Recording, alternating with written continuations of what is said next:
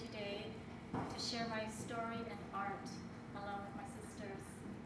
The journey to Manzanar was a soulfully rich experience that opened up a whole other dimension to my being. What sparked my desire to go on this journey all began with a significant photograph that was given to me by my relative Ray Fujii. This photo has led me to a deeper and ongoing investigation into my family history. And the soulful journey to Manzanar with my Sansei sisters helped me to broaden my knowledge about my roots and who I am today.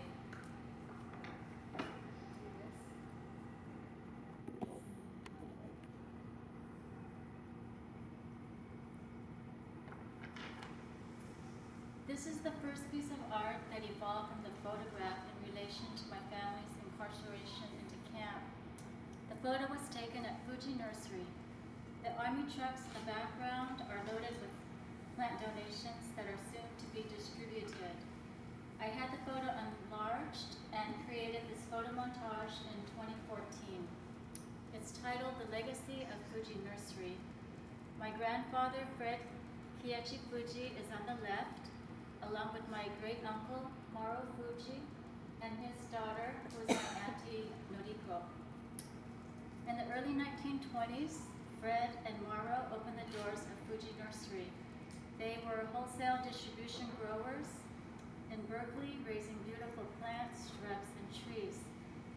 When they received notice from the government that they were going to be evacuated and would be residing in the internment camps they sold their stock to the public at bargain prices and donated as much as they could to the community. There were also several other families, nurseries, and businesses in the area that did the same.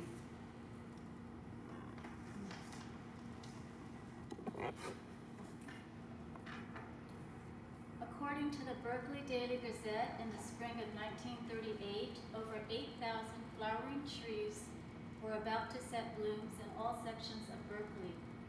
Among the varieties were pink and red flowering peach, the white plum, and cherry trees.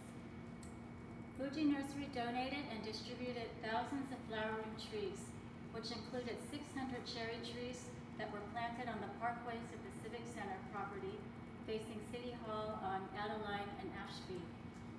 They also donated to the newly constructed Fort Ord Army Base in Monterey. It is my understanding that they were given advance notice from the government before Executive Order 9066 in order to give them time to move their inventory. Upon learning about the flowering tree donations, it really struck a chord with me, and I knew that I needed to respond through my art, and that I would eventually make cherry blossom art. This new painting was inspired from our journey to Manzanar, made of acrylic and 22 karat gold leaf on wood, and it measures 12 inches by 12 inches.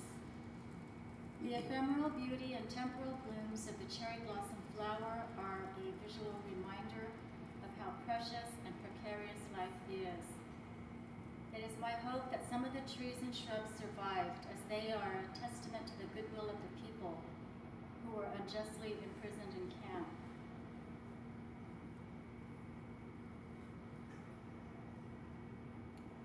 I call myself the cherry blossom sansei.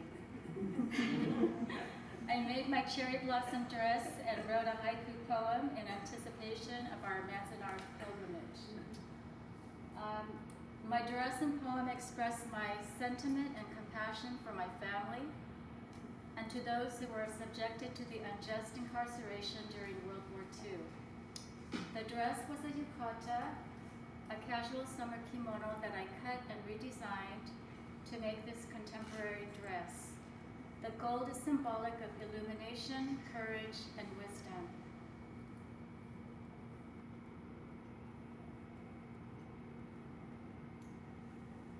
My cherry blossom poem is handwritten on handmade collage washi papers, 22 karat gold leaf, leaves, and watercolor. My dress and poem are an expression of delicacy, femininity, and the pink color of universal love. It is not just about the flowers, but also about the transitions one experiences in life. And in closing, I would like to give a special thank you and recite my poem for you. Uh, thank you to my cousin Ray Fujii. Um, unfortunately, he couldn't be here today um, for the interviews and documentation. And to my beautiful Sansei sisters, um, and Pat Neal, for sharing their heart and experiencing our profound journey to Manzanar together. It has inspired new work and will stay with me for a lifetime.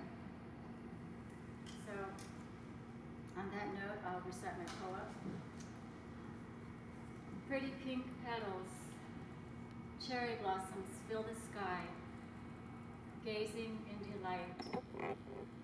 Love is in the air, hopes and dreams with heart's desire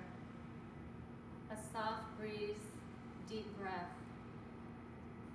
Temporal beauty, purity, fragility, life, death, and transcendence.